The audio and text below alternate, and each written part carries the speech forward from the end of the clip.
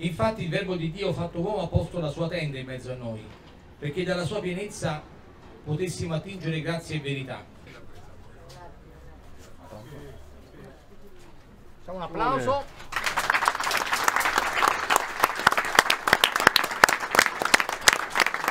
Eh, Questo emporio vuole servire eh, le famiglie in momentanea situazione di difficoltà. L'abbiamo potuto realizzare grazie ai fondi della CEI all'8 per 1000. Tutti noi passando di qua possiamo eh, aprire gli occhi e porre un'attenzione sempre eh, maggiore nei confronti di, di chi ci sta vicino. L'emporio si reggerà sì grazie ai fondi eh, della Chiesa, ci auguriamo anche delle istituzioni, ma anche grazie alle donazioni di tempo, di, di disponibilità e alle donazioni anche di, di materiale. Questa è una casa, è una casa della Caritas, quindi una casa del vescovo e della diocesi per aiutare le persone, per farle camminare, per renderle più libere. E con questo spirito che oggi con grande emozione, pensando a uno che veramente ha amato tanto questa città e la nostra diocesi, Enzo Chiaresi, che è, è fautore della Caritas